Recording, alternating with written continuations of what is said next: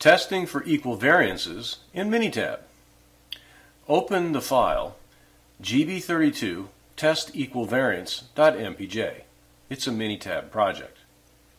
You'll notice when you open it up, the worksheet has two columns, one for material, which is labeled as a text column, and one for the strength, which is the pull strength associated with the bond of the glues.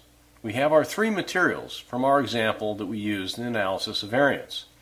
We have material A, we have material B, and we have material C. Notice that these have been stacked on top of each other into one column with the strength characteristics associated with it in the next column. If we click on the big blue eye, we can see that we have material, which is a text column, and we have the strength of that material, which is the bond strength, in another column. There's 75 total data points, 25 for each of the three different materials. Glue from vendor material A, vendor B, and vendor C. There's 75 total data points. To this point, we've used analysis of variance and we've used t-tests and paired t-tests to compare the differences between averages. Now let's see if we can detect the differences between the variation.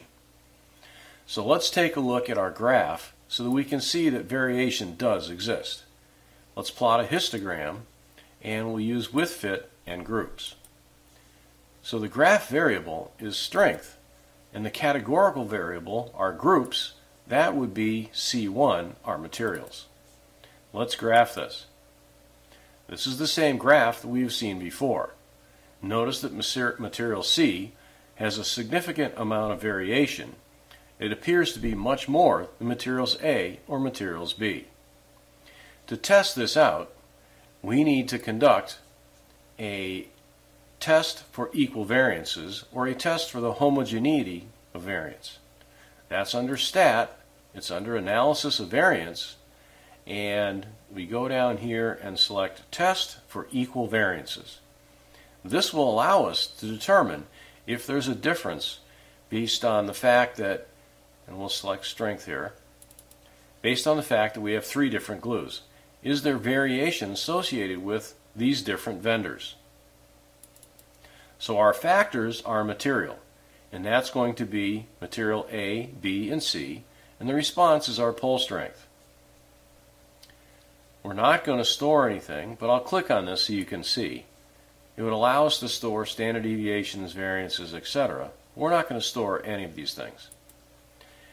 Now all we have to do is just click on the OK button and we can generate our test for equal variances. So here you have it. This is the test for equal variances.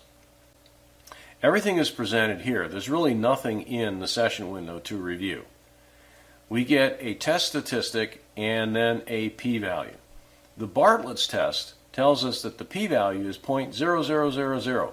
That's very, very small. That means there is a difference. Levene's test gives us a p-value that's 0.000, and that p-value is very, very, very small as well. So in both cases, we would conclude that there is a difference between at least one of the variances that we see. In this case, material C has dramatically more variation than materials A and B and the statistics prove that out. One question you might have is, what's the difference between the Bartlett's test and the Levene's test?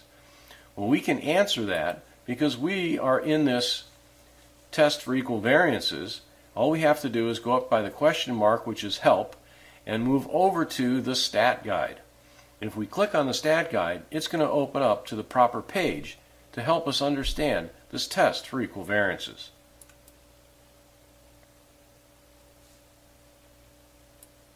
I'll have to make it a little bit smaller here so it fits into our window. And we have our example of test for equal variances. What we can do is click on topics and confidence intervals and test. And click on the tests. All right, use Bartlett's test when the data comes from a normal distribution. Bartlett's test is not robust to departures from normality.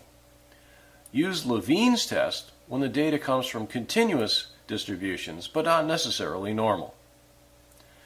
All right, that's what the difference is. Bartlett would like to see all the data normally distributed. Levene's test, as long as it's continuous data, you can use it. In this case, they both give us good values that tell us that yes, there is a difference. Now we could test for normality to find out if these variables that we have, materials A, B, and C, are normally distributed. And we can do that using stat, basic statistics, and graphical summary. The variable is strength. The categorical variable is our material. This will give us three graphical summaries, one for materials A, B, and C, and it will also give us the test for normality. And when we look at material C, we can see that its p-value is 0.034. We would have to consider that not to be normally distributed. If I look at the summary for material B, make it a little bit bigger here so we can read it, that has a p-value of 0.727. Yes, that's normally distributed. And when we look at the summary for strength, of material A, we can see that that has a p-value of 0.913. That's normally distributed as well. So material C does not have a normal distribution. Materials A and B do. So we should rely in our test for e equal variances on the Levene's test, and it says that the p-value is 0.000.